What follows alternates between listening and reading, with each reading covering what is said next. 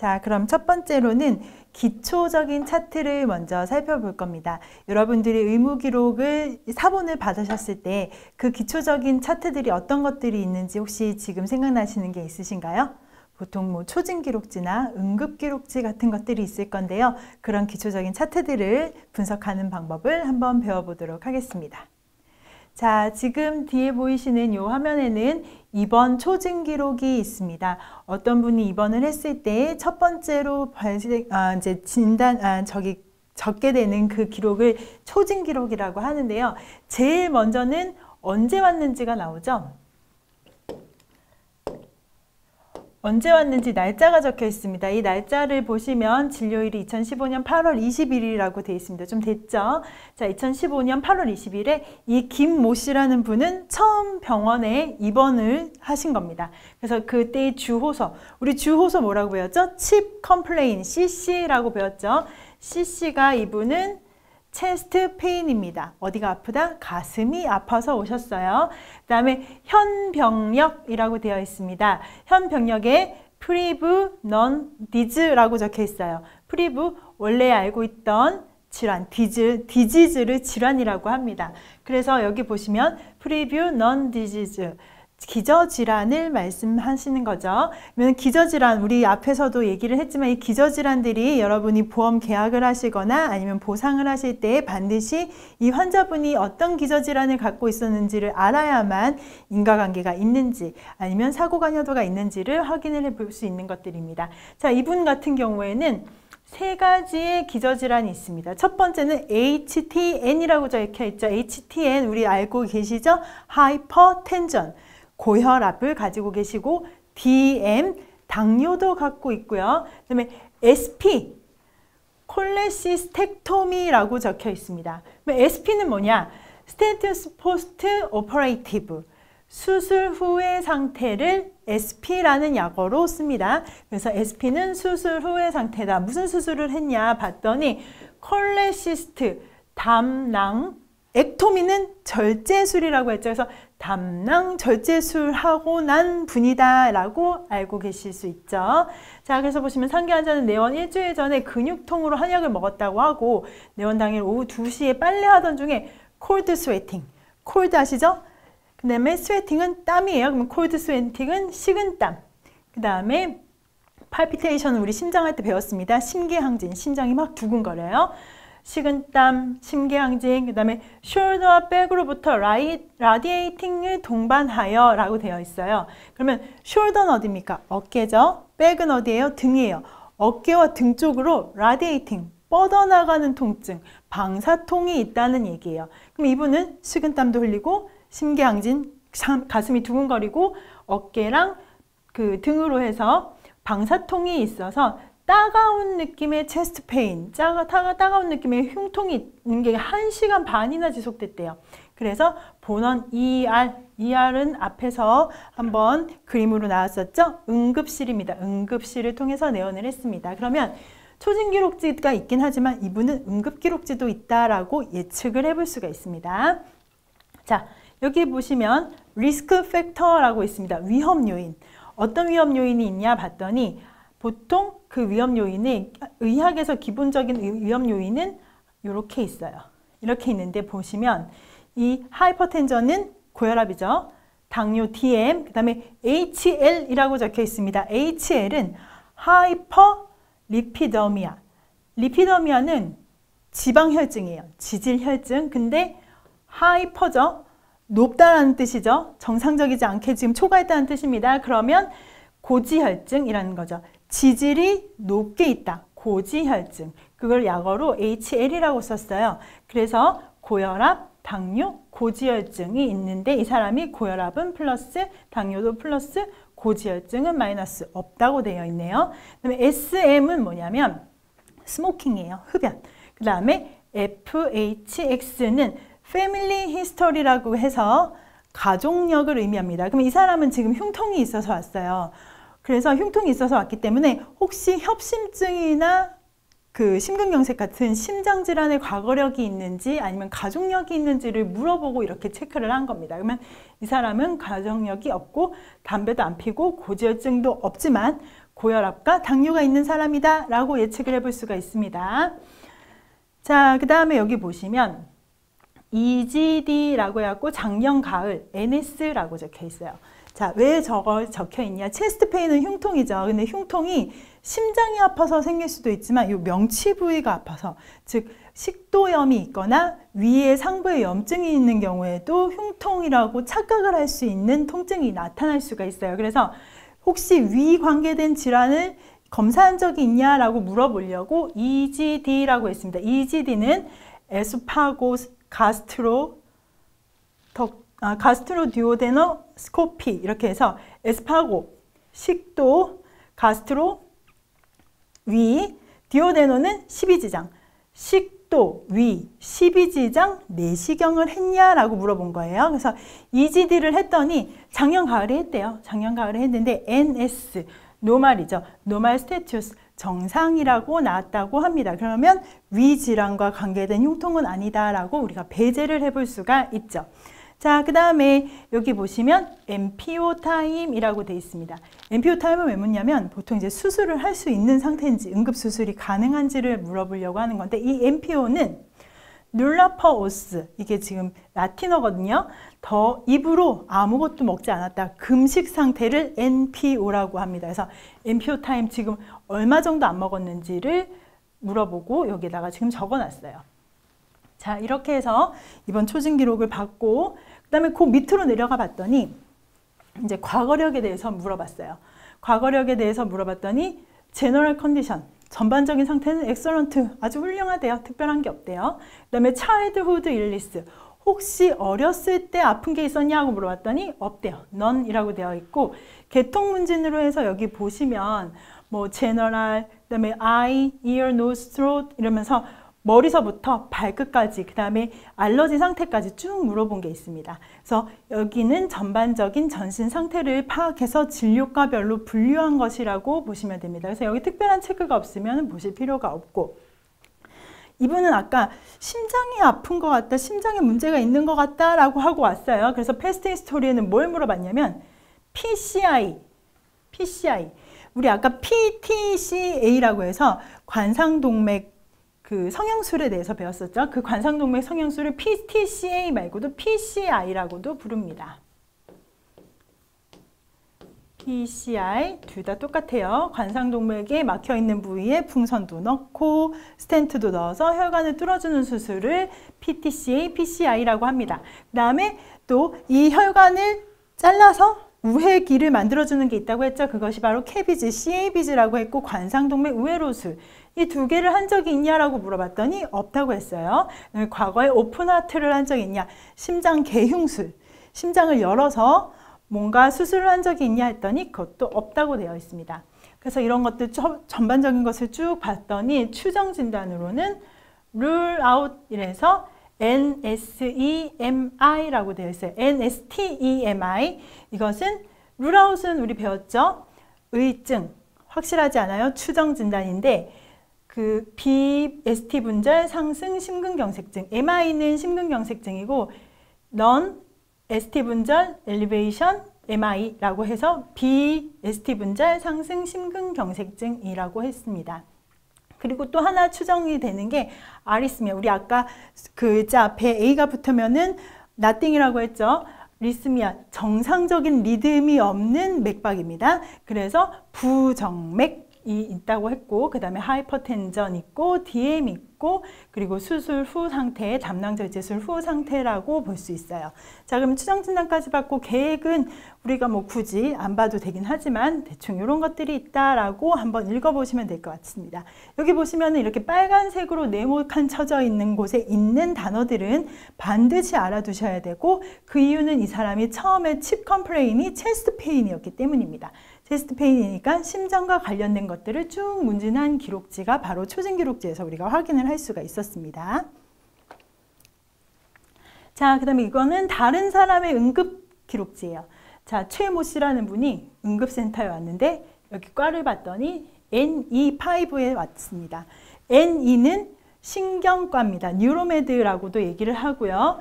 neurology라고도 얘기를 합니다. 이 숫자는 아마 그 의사를 1, 2, 3, 4, 5번 숫자를 매기거든요. 그래서 신경과의 5번 선생님한테 진료를 받았다라는 뜻입니다. 언제 왔죠? 이때 왔어요. 날짜도 보셔야죠. 날짜를 보시면 되고 자, 우리가 제일 처음 봐야 되는 건 chief complain입니다. chief complain인데 이 사람의 주 증상은 여기 보면 디지니스라고 적혀 있습니다. 어지러워요. 어지럽고 그 다음에 NV 우리 NV는 뭐라고 했죠? 나우지아 하고 오심.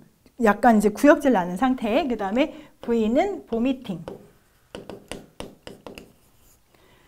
토하는 상태. 그래서 나우자 보미팅. 이 사람은 어지럽고 그다음에 오심과 구토가 있는데 그게 얼마나 됐어? 3일이나 됐다고 합니다. 그래서 발병 일자를 보면 이 사람은 분명 11월 2일에 왔는데 실제 이런 증상이 나타난 건 10월 31일이에요. 그래서 실제 발병한 날짜와 그다음에 내원한 날짜가 다를 수가 있다는 거 이 차트를 통해서 한번 확인을 해볼 수가 있습니다. 자, 그러면 우리 아까 배웠죠? 프리뷰 언론 PT, 기저질환이 없는 환자, 페이션트로서 자, 그래서 기저질환이 있는지 없는지는 밑에 한 번 더 확인을 했어요. 그래서 요 밑에 보시면 hypertension이 있죠. DM이 있죠. TBC, 결핵이라고 배웠습니다. hepatitis 간염이에요. 요 네 가지는 어느 병원에 가서 어느 의료진이 물어도 기본적으로 묻는 기저질환 네 가지입니다. 고혈압, 당뇨, 결핵, 간염. 보통 B형 간염을 얘기를 해요. 그래서 고혈압, 당뇨, 결핵, 간염 이냐 물어봤더니 다 없대요. 마이너스라고 적혀 있죠. 그래서 이 사람은 프리뷰 PT, 기저질환이 없는 환자다라고 볼 수가 있습니다. 자, 그 다음에 다른 사람의 응급실 기록을 또 한번 보겠습니다. 이 사람은 지금 보면은 내원 일자와 발병 일자가 별 차이가 없고 시간적인 차이만 있습니다. 시간적 차이만 있고 119를 타고 왔어요. 119를 타고 왔고 뭐 이럴 경우에 보통 우리가 이제 그 현장 조사를 나가면 119 구급 기록지 같은 것을 같이 떼와서 보기도 하죠. 119 구급차를 타고 병원에 갔습니다. 질병 외의 사고를 종류를 봤더니 이 사람은 추락 사고예요. 추락사고고 사고 원인은 우선 응급기록지에서 적힌 거는 비의도적 사고입니다. 자, 그래서 주소 chief complain이죠. 환자의 내원 사연은 back pain, 허리가 아파요, 등이 아파요. 그 다음에 both lower leg weakness라고 되어 있죠. 하지인데 both, 양쪽 하지에 위약감이 있다. 감각이 조금 떨어지는 것 같기도 하고 힘이 빠지는 것 같기도 하고 그런 느낌들을 weakness라고 합니다. 그래서 back pain과 both lower weakness가 있는 상태예요. 그래서 보시면은 현 병력을 볼게요. 평소 active outdoor walking ambulation 가능한 자. 다 요 앞에까지는 다 영어예요. ambulation도 영어긴 하지만 다 아실 거예요. active outdoor walking. 밖에 나가서 활동적으로 걷고 보행이 가능했던 사람이다 라는 뜻입니다. 이런 사람이 5월 20일 날 판넬 작업하다가 5m 높이에서 FD를 했대요. fall down입니다. fall down 높은 데서 떨어지는 거죠. 낙상 추락을 fall down이라고 하고요. 그러면 SD라는 것도 보실 수 있을 거예요. SD는 미끄러졌다. slip down입니다. 그래서 slip down 했다라고 잘 안 쓰고 보통 SD 했다. FD 했다라고 쓰지만 읽기엔 fall down 했다, slip down 했다라고 읽을 수 있죠. 자, 그럼 이 사람은 5m 높이에서 fall down을 했대요. 추락을 했대요. 이후 lower back pain, 등의 통증이긴 한데 어디? 아래 허리 통증, 아래 등 통증이 있다는 뜻이고요. 보스렉 위크니스 하면은 양측 다리에 위압감이 있다라고 얘기를 합니다. 그래서 요 가지 요 추락 후 이런 증상들이 있어서 병원에 내원을 하셨다고 해요. 과거력은 여기는 친절하게 한글로 써 있죠. 당뇨병, DM, 고혈압, HTN이라고 우리가 약어를 주로 씁니다. 자, 그럼 여기서 보셔야 되는 거는 주로 이제 내원 일자, 이 사람 언제 응급실 왔는지 봐야 되고, 그러면 사고 일자, 또 당시 요 여기 같은 경우에는 사고기 때문에 발병 일시가 사고 일시겠죠. 이것도 같이 보시면 되고요. 그 다음에 질병 외의 사고의 종류 이 사람이 상해로 왔는지 기저질환으로 왔는지 질병으로 왔는지를 볼 수 있어야 됩니다. 자, 그 다음에 같은 사람이에요. 그래서 제너럴 위크니스를 실제로 봤더니 없는 것 같아. 이 계통 문진이라고 하는 것은 의사가 보는 상태예요. 환자가 얘기하는 게 아니라 의사가 봤더니 전반적인 위약감은 없대요. 전반적인 위약감은 없고 뭐 맥박이랑 체온이랑 이거 다 됐고 그다음에 multiple trauma 해서 yes 돼 있어요. 다발적으로 손상이 가 있다라는 뜻입니다. 그리고 두 부분 이상의 blunt trauma 둔기 외상 이분이 떨어졌죠. 떨어지면서 뾰족한데 쾅 하고 부딪힌 게 아니라 둔한 땅바닥에 툭 하고 부, 부딪혔기 때문에 둔한 외상이다, 둔기 외상이다라고 얘기를 할 수 있어서 blunt trauma라고 적었습니다. 그다음에 trauma place는 뭐 장소를 얘기하지만 여기는 지금 사고 내용을 적었죠. 5m에 fall down을 했다. 그다음에 mental status 의식 상태가 어떠냐? alert하다. 지금 여러분의 상태죠? 청명한 상태입니다. alert.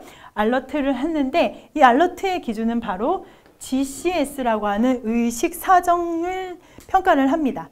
그래서 이 의식 사정을 평가를 하는데 보시면 세 가지로 평가를 했어요. 여기 보면은 E가 4점, V가 5점, M이 6점이라고 돼 있어요. E는 eye response, 눈의 반응, 자극을 줬을 때 눈의 반응이 있는지, verbal response는 말을 할 수 있는지, motor response는 자극을 줬을 때 나의 움직임이 어느 정도인지 운동 기능을 보아서 이것으로 점수를 매깁니다. 그래서 GCS의 총 만점은 15점입니다. 그래서 여러분은 지금 15점 상태죠.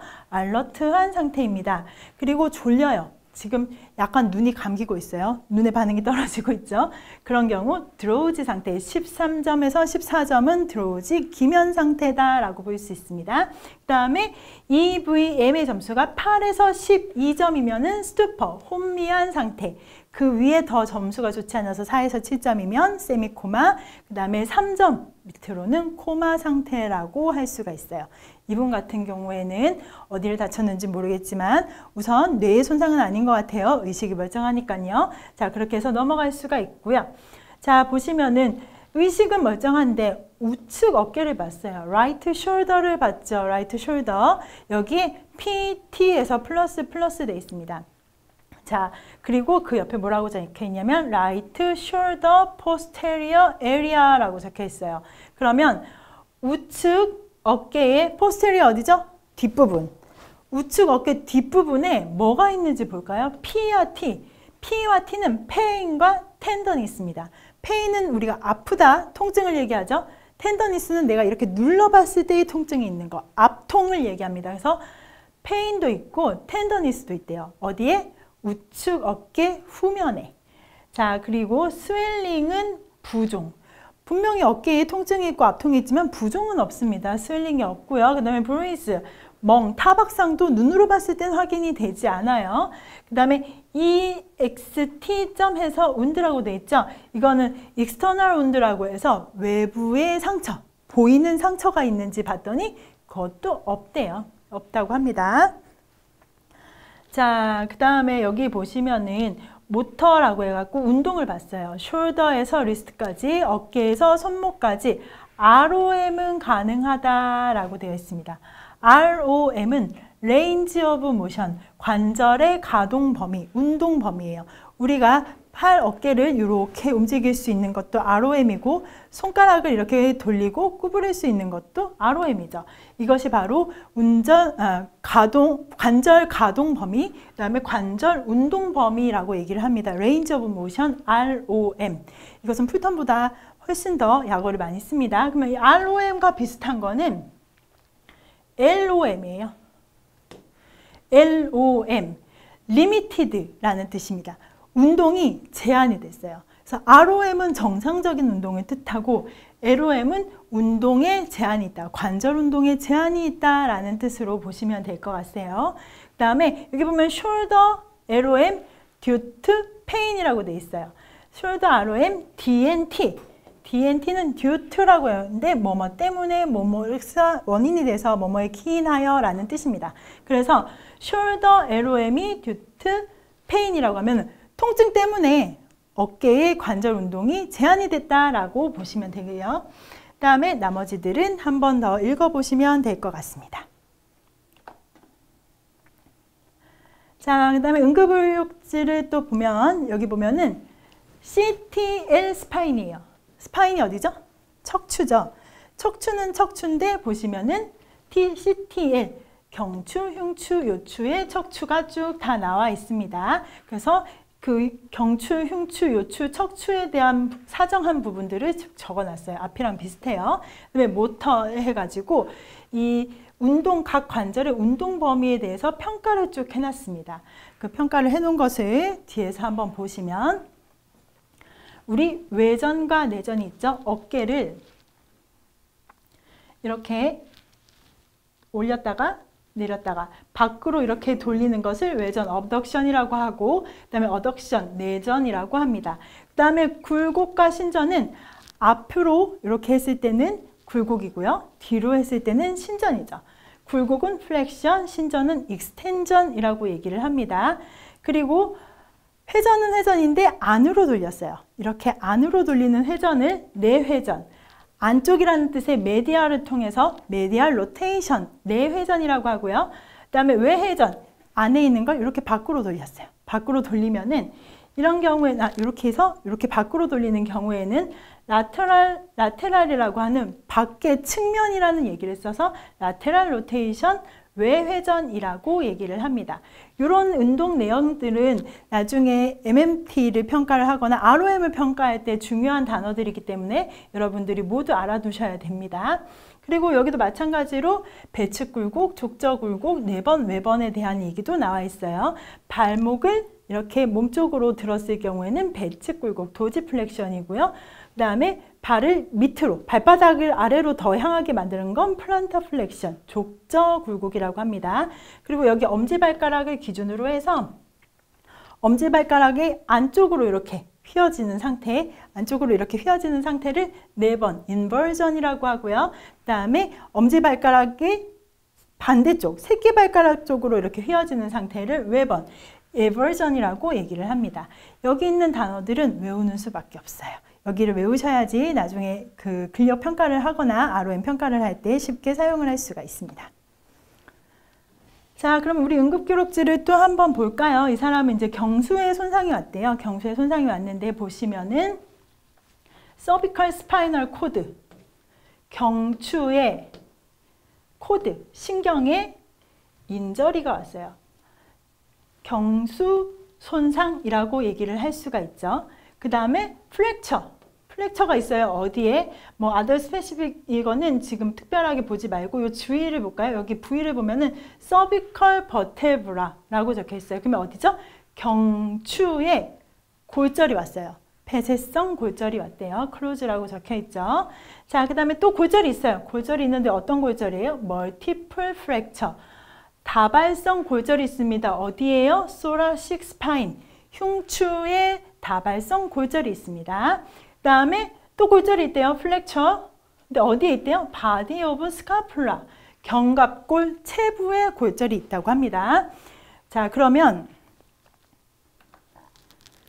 여기 보시면 여기에 지금 척추체의 골절이죠. 척추, 경추체의 골절이 있으면 이것처럼 골절이 있어요. 여기가 지금 경추체죠. 우리 배웠습니다. 버테브랄 바디에 이렇게 골절이 있는 상태예요.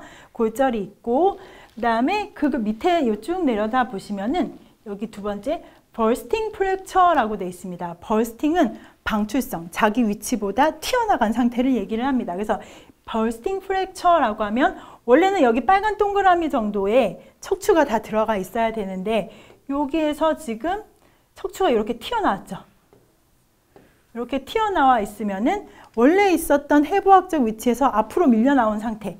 여기서도 원래 척추는 요 선을 따라 넘어가야 되는데 이렇게 척추의 골절이 척추편이 앞으로 튀어나온 상태. 이것을 bursting fracture, 방출성 골절이라고 합니다. 자, 그 다음에 여기 보시면은 음, transverse process라고 되어 있어요. 우리 transverse process 배웠죠. 극돌기. 아, 극돌기, 횡돌기. 이 척추가 이렇게 있으면 여기가 transverse process 횡돌기고 그다음에 여기 등 쪽에서 만져지는 뾰족한 뼈가 바로 극돌기라고 했습니다.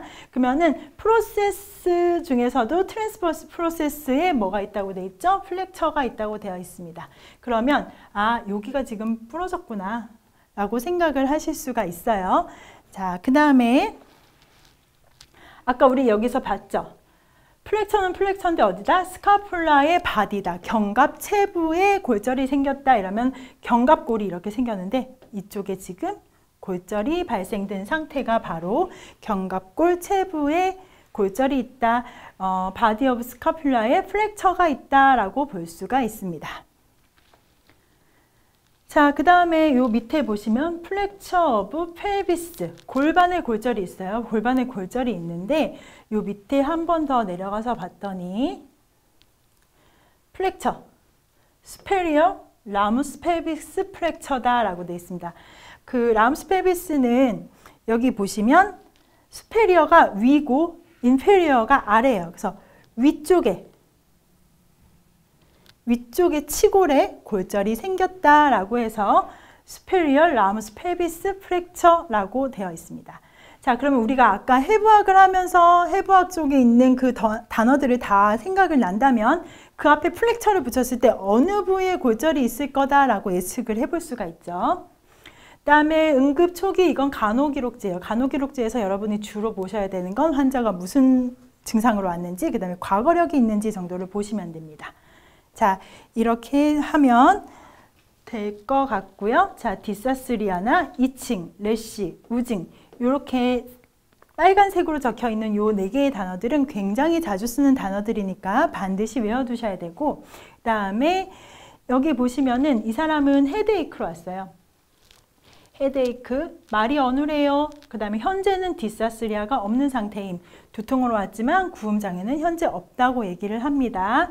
그래서 쭉 밑을 봤더니 left BG INF라고 적혀 있어요.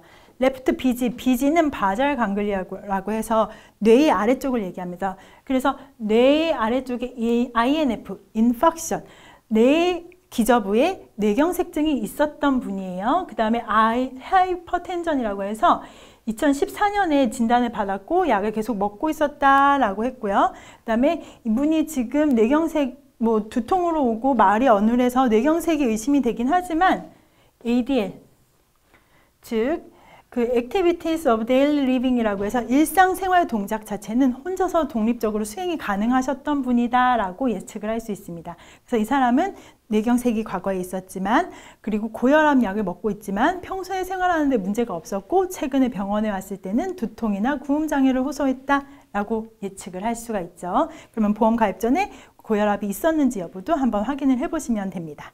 자 이상으로 기초 의무 기록에 대해서 살펴보았습니다.